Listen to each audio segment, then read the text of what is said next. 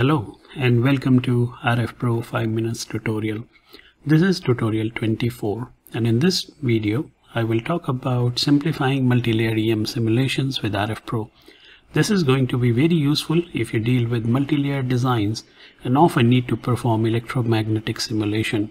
In those cases, the typical designer worry is how to reduce simulation time and how to reduce the memory consumption so that you can run your simulations much faster in the most efficient manner. So stay tuned for all the techniques I'm going to show in this video and they will be very useful for your work. So let's get started. I have two case studies. Let's take a look at the first case study. Here I have a design which is done on a six layer board. Now you can have even higher number of boards than this. Now in a typical RF microwave application, your designs are largely concentrated either on the top two layers or the bottom two layers of the multi-layer board.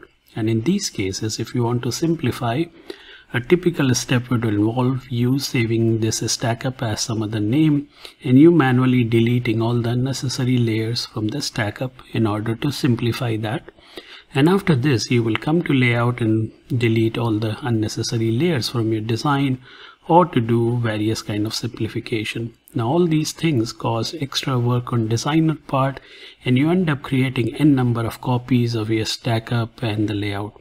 All this is not required when you are dealing or using RF Pro in ADS so let's see how once you open this design database in RF Pro, you can see you have the multi-layer design. Like in my case, I have a six-layer board design in which I have a transmission line at the top and transmission line at the bottom. So here I'm going to focus only on the top two layers because let's say that's the section I would like to analyze.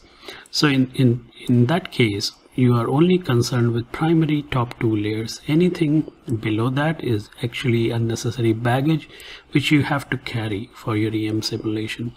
Now how can you simplify that in RF Pro very simple. When you load the design all your substrate stack up properties are also loaded. Here you can see all the conductors all the vias and all the dielectrics in your design. Now anything which you don't really need for your simulation you can simply select that. For example in my case anything downwards of M3 layer is actually useless for me because I only want to concentrate or simulate these top two layers. Now in that case you select all of them right click go to meshing and exclude it from mesh. Once you do that now the simulator will not create mesh on those layers. Isn't it cool? Pretty pretty simple. Now to indicate that these are not included in your simulation you can see the fonts are now italic. If you want to avoid further confusion you can select all of them right click make them invisible so that you don't even see that in GUI so that you can only focus on the design uh, which you would like to simulate. Similarly, the dielectric layers, for example, here, let me orient the view. Now you have the top, uh, you know, dielectric, which is of your use, and one dielectric below the ground, just to take care of extra dielectric loading effect. But dielectric number one, two, and three are not really required for your simulation, so you can select all three right click and like earlier you can also exclude it from mesh and now you can see those fonts also turn italic so in no time you have simplified your simulation without having to modify your layout or stack up in any manner. Here I have run few test cases by including or excluding different kind of layers. And here let me show you uh, the performance difference. So if I run a full-blown momentum simulation with everything included, in those cases you can see I require 12,000 you know size matrix as you can see in the font here.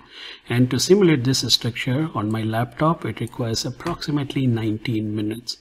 But if I only switch on selective layers for simulation you can see the, the number of unknowns are now only reduced to 7,400 from 12,000 and now you only need 8 minutes 30 seconds to run that kind of simulation saving you already more than 50% of your time and also requiring lesser memory because you reduce the number of unknowns. Similarly, if you run a full-blown FEM on the entire assembly, for meshing you require around 34 gigabyte of RAM and to run the simulation around 25 or 28 gigabyte of RAM and also you need 37 minutes.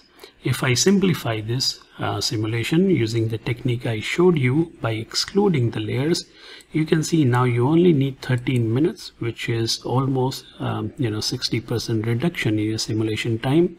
And also you need only 10 gigabyte of RAM to run simulation. And for meshing you only need around 15 gigabyte. Again a huge memory saving to run these kind of analysis. Pretty cool right and that too without modifying your layout or stack up in any manner everything can be controlled with RF Pro.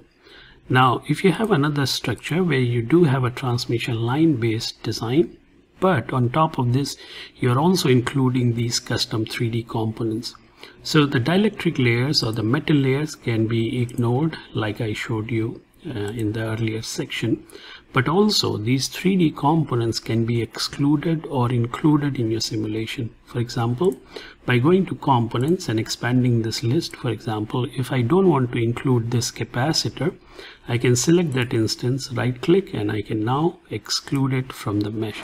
And now again, you can see it turns italic. And now this capacitor will be left out from the simulation even though it is physically present on your board. So my second simulation will be only simulating this series inductor along with this couple of transmission line.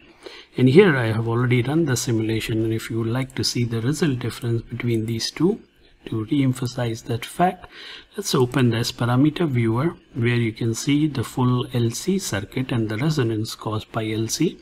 Now if I switch on the selective mode simulation, you can see it's a simple inductor which is shown there. So pretty cool technique and you can mix and match the way you would like to run simulation without modifying your layout or stack up in any manner. So these were the two case studies I would like to present in this video. I hope you found the techniques to be very useful for your practical design work and you will save a lot of time and memory while running these complex electromagnetic simulation. Thanks a lot for watching. Stay tuned for more upcoming videos on RF Pro. Keep learning, keep enhancing your knowledge. Thanks a lot.